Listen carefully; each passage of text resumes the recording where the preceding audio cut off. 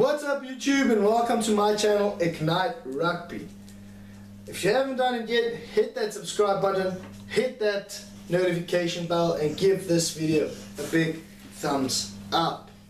And as you said, he is such a good player. It'd be easy to sit there and put a bit of blame on the Sunwolves defence, three missed tackles, but when you've got a man with that class and that ability to evade... Amazing strength. What was impressive here is the speed, determination and the leg. It's not a TMO at this stage. It's in the air. Uh, no, that's, a, that's amazing. Oh. That's spectacular. And the Hurricanes, they just paused momentarily. Richie looks as if Simone thought maybe he was going to go off his right back on the inside. And that moment of hesitation meant that that man could get on his outside. Now, what is rugby? Rugby is basically split into two categories. Rugby Union and Rugby League. Now, today I want to concentrate mainly on Rugby Union. It is the most popular rugby played right around the world and it is well known through everywhere. So no matter where you go in the world, if there's rugby supporters, you'll basically know what's for what. Stay tuned.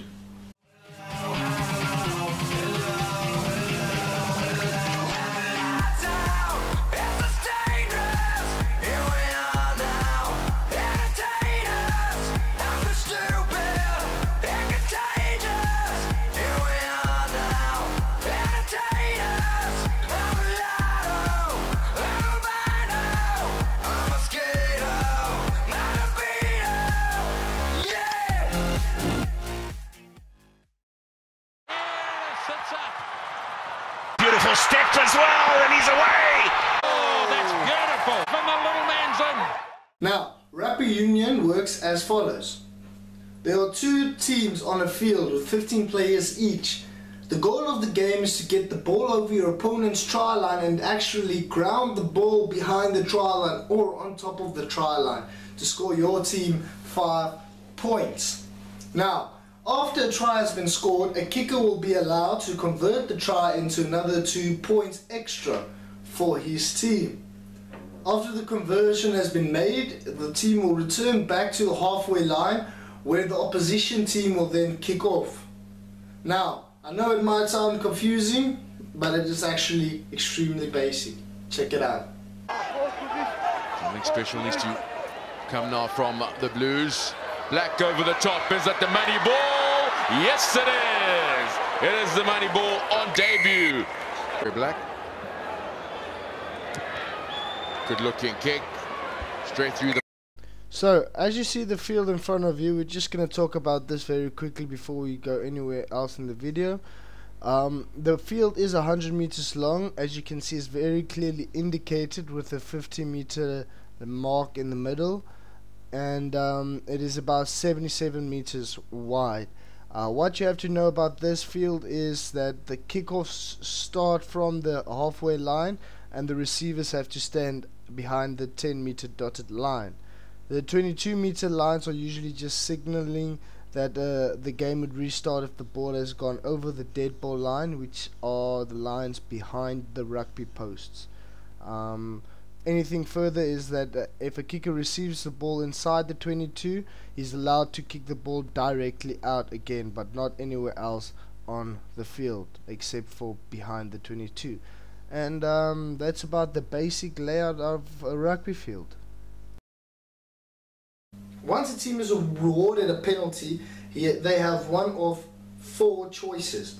They can choose out of a punt where they will kick the ball out of bounds into touch. They'll either opt for a scrum, where eight players from each team will bind in a line of scrimmage in order to fight for the ball in power and technique. Number three is a kick at goal. That is when the kicker of the team will be elected to kick for the post and win his team three points. Number four is tap and run. Now the tap and run is said that the player who has the ball or the player who attempts to tap and run has to tap the ball with his foot in order to put the ball back in play. Now, I know there's a lot of stuff I just said around the penalties and terminology I just used in penalties that sounds confusing. Um, so let's just go through it quickly. Let's take a scrum, one of our terminology words we're using today. What is a scrum? Basically, a scrum is eight players forming a line of scrimmage and contesting with power and technique to see who's going to win the ball for their team. Now, how does a scrum actually work in content? Now, once the players are bound to each other, the scrum of which, are, which is usually your number nine, throws the ball in between the two teams. Now, once the ball is fed into the scrum, these two teams will try and hook the ball through to their side.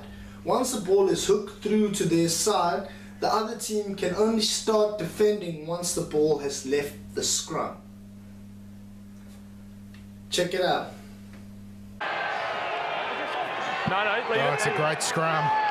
Both teams. Play it or reset. Good. McCaffrey throws a dummy and he puts it down against the post. It is a try to the Brumbies. Um, just time off. And McCaffrey carries, carries, and it's on the line. On the line and also up against the post pad. That is a certain... Can cause a scrum. A scrum is basically caused from either a knock-on, which is another word in our terminology we're going to use today, and a forward pass, or a still standing maul. And maul is another terminology word I'm going to touch on just now. Now, what is a forward pass? In rugby, the rules are that you can you cannot cannot pass the ball in any direction except for backwards.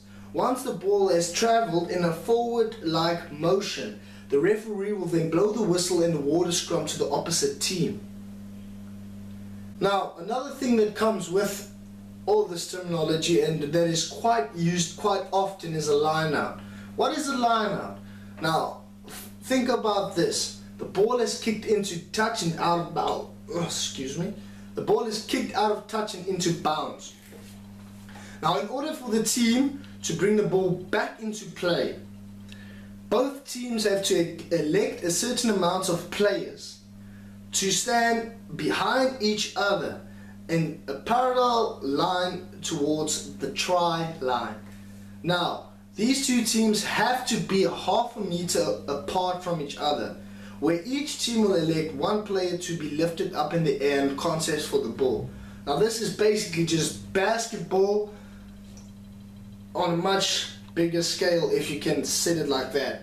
Um, so, the hooker is usually the player who is elected to throw in the ball. Now, but wait, who gets to throw the ball in? It's very basic. If we have two teams, Team Red and Team Blue, if Team Blue kicks a ball out of bounds, it will become automatically Team Red's ball. But no need to fear if you're in Team Blue's corner, you'll have the option to either lift a player in the air and contest for the ball and win it back if you can. This is a lineup. Check it out. Back shocks. This time around, it's a banker ball in front for Tyler Paul. Watching your side, mate. Blues working hard in defence, but is it hard enough? Akram for the Mavericks got it lined up, and he's over. They get really tight here, bound together like super glue they are. A little bit splits off the side, they stick and they go forward and get the try through. What is a maul? A maul is basically once the team has held the ball up from a tackle and the ref has called the word maul. The team who has brought the ball into the maul will then have to either bring the ball out or they're going to have to push the maul and keep the maul in motion. If the maul does not stay in motion, the ref will call it, use it once. If the ref cannot see that the ball will not come out, he will blow his whistle and give the ball to the other team by awarding a scrum. This is a maul. Well, it's a good maul set up for the Hawaii's here to be desperate defence. They've taken it over. This Is a maul formed? A maul is basically formed anytime and anywhere on the field, as long as the time and positioning is right. But mauls are mainly formed out of line outs themselves in order for your team to try and push a few extra meters without using your skill in backline but basically power. Now some of the other terminologies that you have to know in a game is a ruck. Now what is a ruck? A ruck is basically once the player has been tackled and taken to ground, another teammate of him comes and binds on top of him to protect the ball from being bothered from any other team. Now the rules around the ruck is that you're not allowed to handle the ball inside the ruck unless you are outside the ruck. But there's a few tricky parts that come into this. Once the ruck is formed, nobody is actually allowed to put their hands inside the ruck except the player who's retrieving who's retrieving the ball for his own team. Now, let's get into some of the terminology used by commentators when um, players occurring on the field. One thing that you have to know there's a weird word called a grubber kick. A grubber kick is once a player has put the ball on top of his foot and it kind of rolls like a soccer ball on the field. Now, in rugby you're actually allowed to kick the ball and chase for it because it's a constant game and it's constantly moving on. Now the second one I want to touch on is a drop kick. A drop kick is once the ball touches the floor and the kicker then initially kicks it directly after it touches the floor. Now when does a, kick, a team use a drop kick? A drop kick is usually used when a player or a team has decided to try and drop kick the ball between the post for another three points.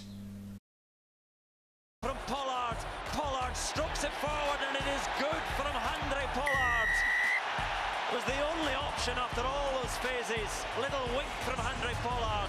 And South Africa take the points that all their pressure, all their efforts deserve. They're back within one talking about the scoring methods and a penalty that gives you a, kick a goal that gives you three points as well as a drop kick that gives you three points how does the point system work on rugby now it's very very easy actually if you think about it you have your penalty goal kick that gives your team three points and then you have your in play drop goal that gives your team three points but in order for these three points to occur, the ball has to go between the two uprights. Now the two uprights are usually the words we use to define the rugby posts.